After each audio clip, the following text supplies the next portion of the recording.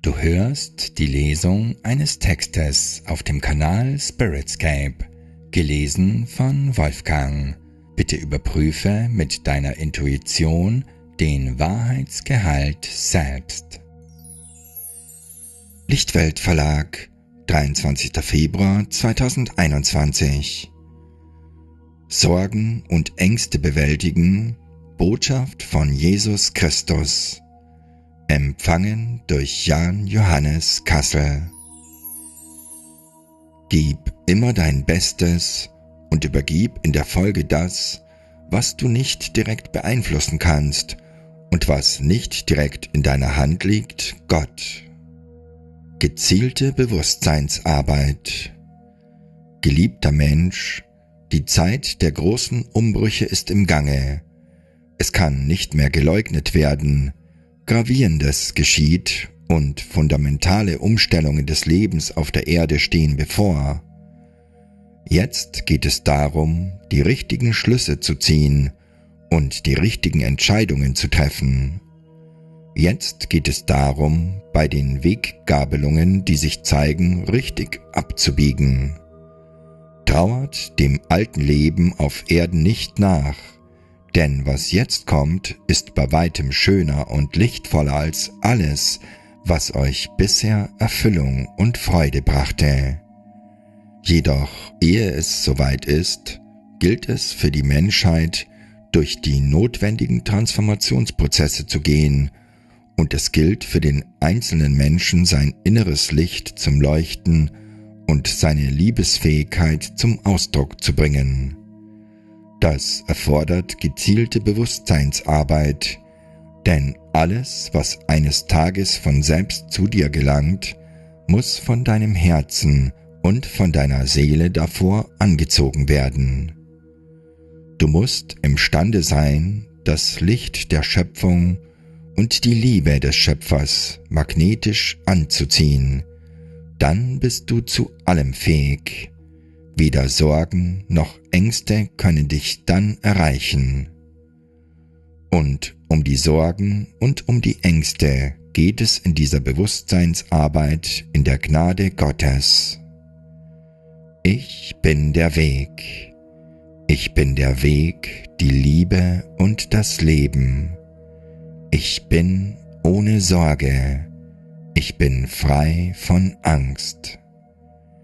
Diese dich stärkenden Worte halten dich, wenn du sie oft genug sprichst und verinnerlichst, in einer lichten Grundschwingung.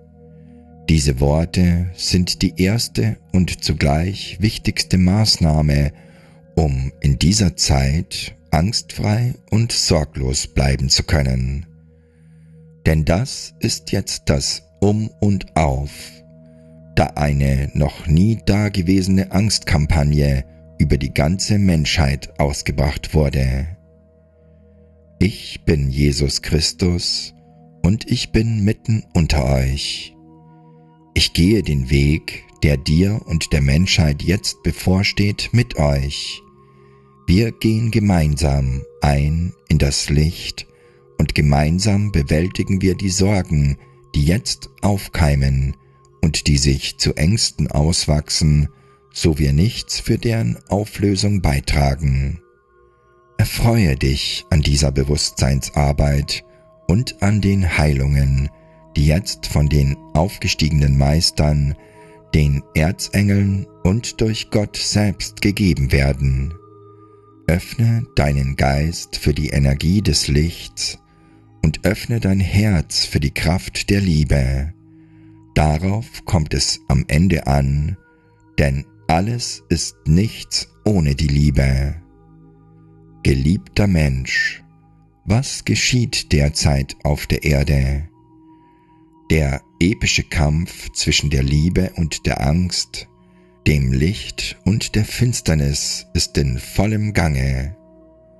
Obwohl der Sieg des Lichts gewiss ist, und obwohl die Kräfte der Finsternis damit begonnen haben, sich selbst zu zersetzen, regiert bei immer mehr Menschen die Sorge und es ist die Angst, die die Herzen von immer mehr Menschen erfasst hat. Warum?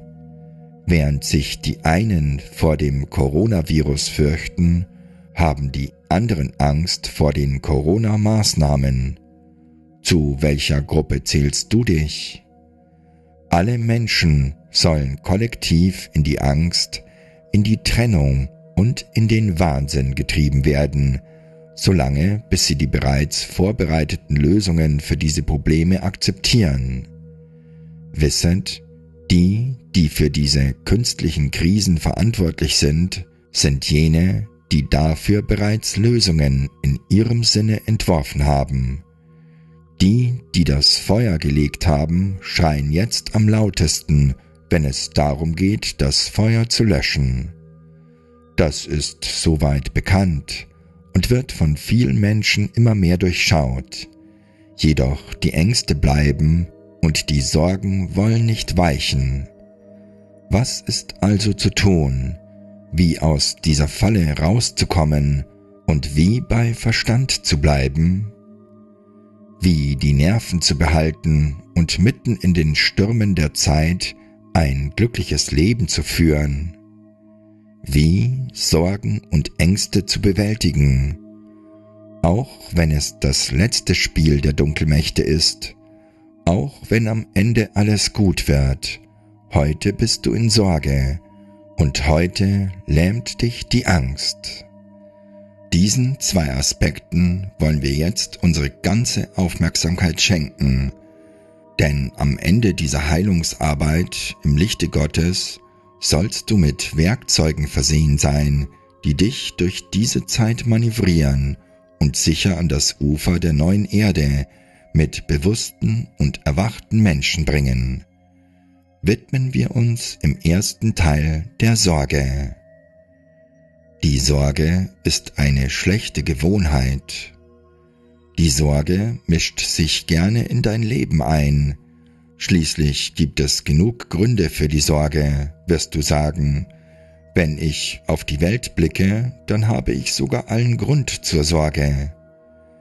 Ich sage dir, die Sorge ist eine schlechte Gewohnheit, die du jetzt ablegen darfst und sollst. Wenn du in dieser Zeit dein inneres Gleichgewicht behalten oder wiederfinden möchtest, dann ist es an der Zeit, dein gewohnheitsmäßiges Denken, die Sorgen betreffend, abzulegen. Den ganzen Tag über machst du dir Sorgen. Du hast Sorge um Menschen, um Dinge, die du verlieren könntest. Sorge vor Krankheit oder Sorge um dein Leben. Dein Verstand sorgt sich unentwegt. Ohne dass du es bemerkst, keimt der Same der Sorge in dir und es erwächst die Angst. Diese bittere Frucht vergiftet deine Seele und verschließt den Zugang zu deinem Herzen. Wie der Sorge begegnen, Ändere die Gewohnheit. Das heißt, verbiete dir Sorgen zu haben. Wie stellst du das am besten an? Nimm dir jeden Tag eine bewusste Stunde Zeit dafür, dass du dir alle Sorgen, die aufkeimen, verbietest. Halte am Anfang zumindest eine Stunde am Tag sorgenfrei. Mach täglich Urlaub von den Sorgen wie indem du, sobald eine Sorge auftaucht, zu dir selbst sagst, ich verbiete mir diese Sorge. Danach denke immer an ein schönes Ereignis in deinem Leben, an einen Moment, der dich glücklich machte und wo du frei von Sorge warst. Trainiere dein Gehirn auf das Abrufen lichtvoller und glücklicher Augenblicke. Das entfernt die Sorge. Es ist ein kleines Training mit großen Auswirkungen auf dein Tagesbewusstsein. Fällt es dir am Anfang schwer, positive Erinnerungen abzurufen, dann ist diese Übung ideal, aber auch dringend für dich. Erster Schritt Gehirn umschreiben und Sorgen entfernen. Gehe wie folgt vor Erstens, verbiete dir jede Sorge. Zweitens, rufe dir glückliche und sorglose Momente in Erinnerung. Drittens, sprich, ich bin der Weg, die Wahrheit und das Leben. Ich bin frei von Sorge und voller Liebe. Wiederhole bei jeder Gelegenheit Punkt 3 und du wirst dein Gehirn umschreiben und aus der Sorge in das Vertrauen finden. Es ist eine Arbeit, die sich lohnt und die deinen Alltag lebenswerter macht. Weg von der Sorge, die sich einnistet, ohne dass du es bemerkst. Mach dir die Sorgen bewusst, wenn sie auftreten, und beende sie mit diesen Werkzeugen. Verfahre auf ähnliche Weise mit der Angst. Wovor hast du Angst? Vor der Impfung, vor der neuen Weltordnung, vor dem Transhumanismus, vor Krieg und Seuchen, vor der Trennung der Menschheit, vor Denunzianten, vor Freiheitseinschränkungen? Und vor der Zukunft deiner Kinder? Es gibt unendlich viele Ängste, die heute auftreten können und die dich in einer tiefen Grundschwingung halten. Ein Mensch mit einer dauerhaft negativen Perspektive zieht genau die Umstände, vor denen er sich fürchtet, wie ein Magnet an. Das heißt, auch in diesem Falle gilt es, die Gegenbewegung einzuleiten. Zweiter Schritt, Gehirn umschreiben und angstfrei werden. Erstens, verbiete dir die Angst. Zweitens, rufe dir glückliche und angstfreie Augenblicke in die Erinnerung. Drittens, sprich, ich bin der Weg, die Wahrheit und das Leben. Ich bin frei von Angst und voller Liebe. Nimm dir jeden Tag für diese bewusste Hinwendung an deine engste Zeit. Bewältige sie indem du sie zuerst wahrnimmst und respektierst.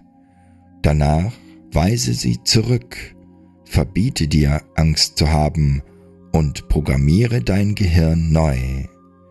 Dein Gehirn nimmt Angst oder Liebe gleichsam wahr, es ist nur die Frage, womit du dich beschäftigst. Angst schwächt dein Nervensystem, Liebe stärkt und heilt es. Beschreibe dein Gehirn neu. Beschreibe deine Nervenbahnen mit schönen, lichtvollen, freudigen und friedfertigen Erlebnissen. Das sind die Übungen, die dir ein Leben in der ansteckenden Energie von Freude zurückbringen. Du wirst sagen, gut, mir gelingt es über weite Strecken angstfrei und sorglos zu sein, doch immer wieder erreichen mich Sorgen und auch Ängste, verschwinden nicht ganz. Manchmal fühle ich mich ohnmächtig im Angesicht so vieler Ängste und ängstlicher Menschen, die mich umgeben. Die Sorgen, die Negativität, die täglich über den Äther ausgestreut wird, wirken sich auf mein Leben aus, und kaum habe ich eine Angst entfernt, kommt schon die nächste.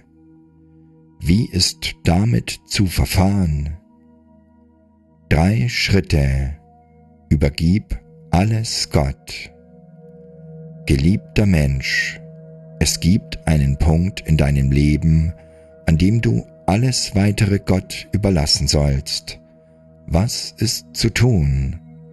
Gib immer dein Bestes und übergib in der Folge das, was du nicht direkt beeinflussen kannst und was nicht direkt in deiner Hand liegt, Gott. Gott wartet auf deinen Auftrag und er wartet darauf, dass du dich mit ihm direkt verbindest. Niemand ist alleine auf dieser oder auf einer anderen Welt. Kein Mensch, auch du nicht, muss die Welt alleine retten oder den Kampf, der jetzt auf dieser Erde tobt, alleine führen. Gib immer dein Bestes. Sorge dafür, dass deine Sorgen weichen. Doch gelangst du an einen Punkt, an dem du nicht weiter kannst oder weiter weißt, dann übergib alles Gott. Verfahre so auch mit deinen Ängsten und mit allen Problemen, mit denen du konfrontiert wirst. Ermächtige dich selbst, so dass du deinen Sorgen offen und weise gegenübertrittst.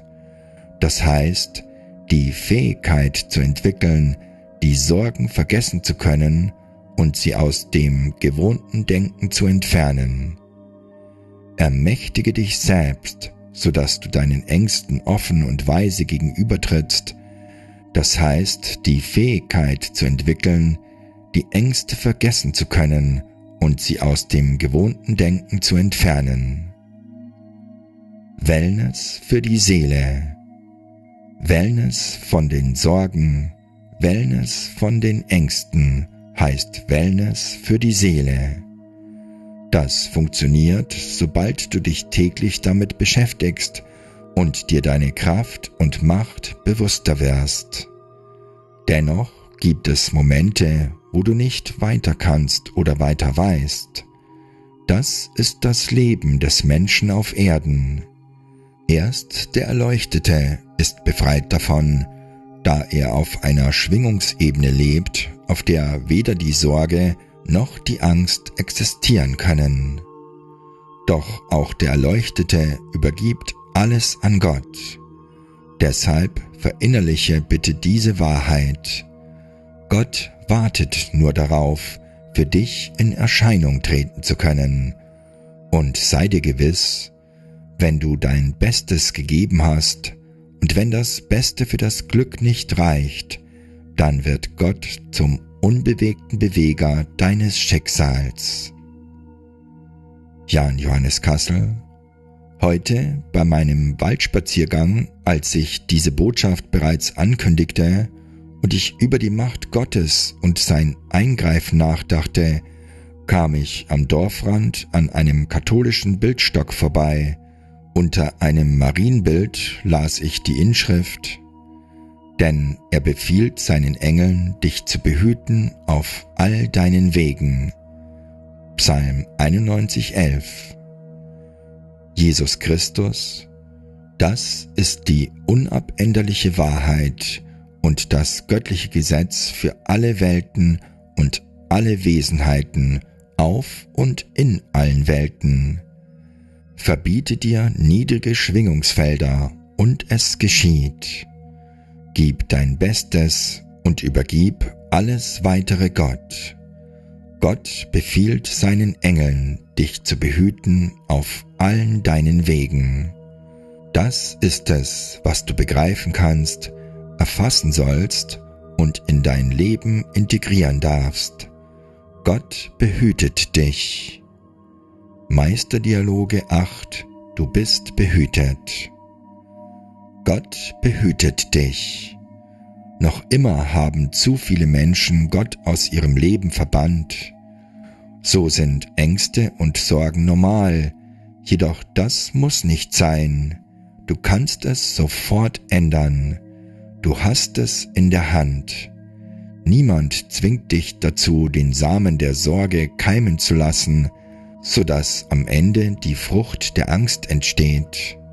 Willst du dein Leben weiterhin vergiften? Du sagst, aber die Umstände auf Erden, die Problemstellungen waren noch nie so massiv wie heute. Wieder sorglos sein oder angstfrei werden.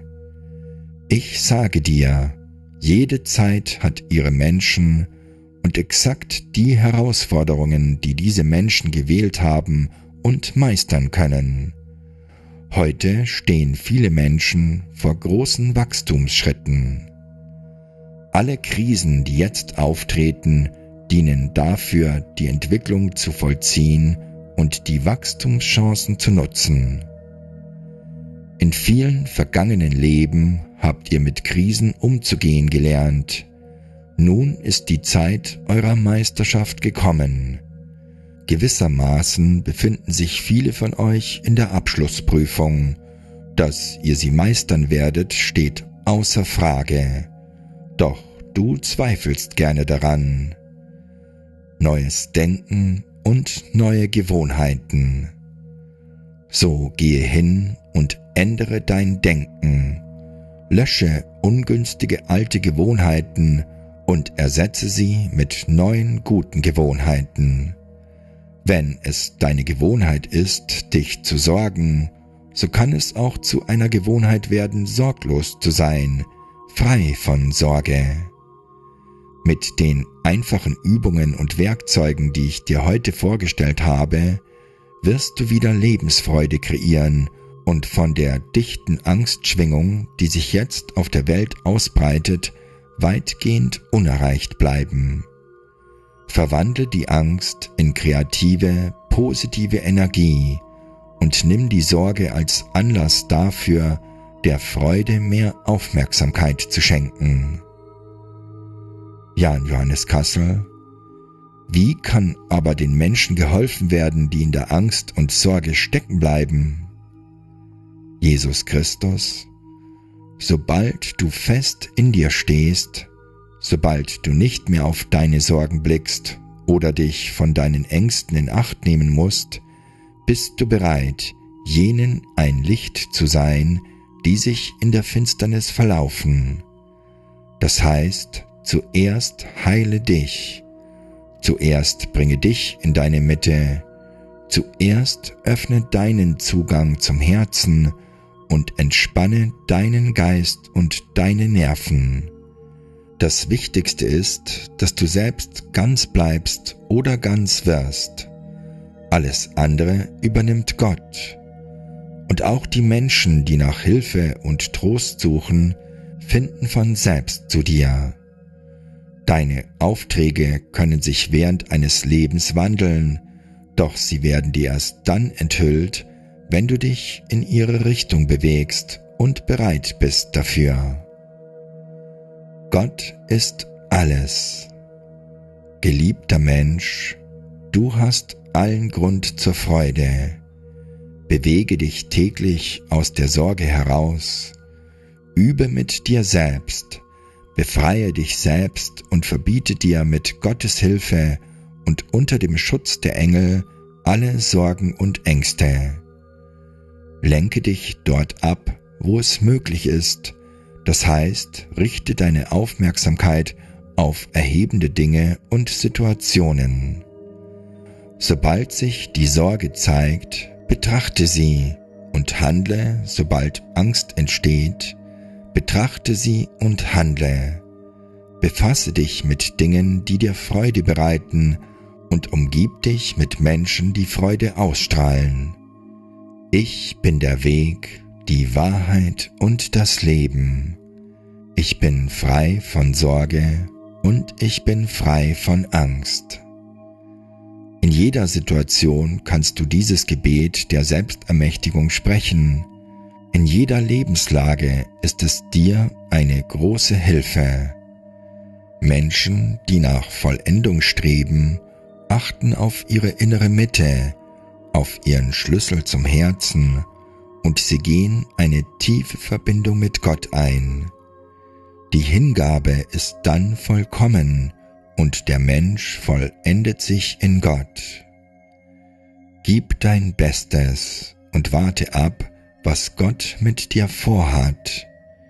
Gib dein Bestes und sehe, wie sehr dich Gott liebt. Dein Leben ist in seinen Händen. Deine Sorgen und die Ängste sind es umso mehr. Gott ist alles. Jesus Christus.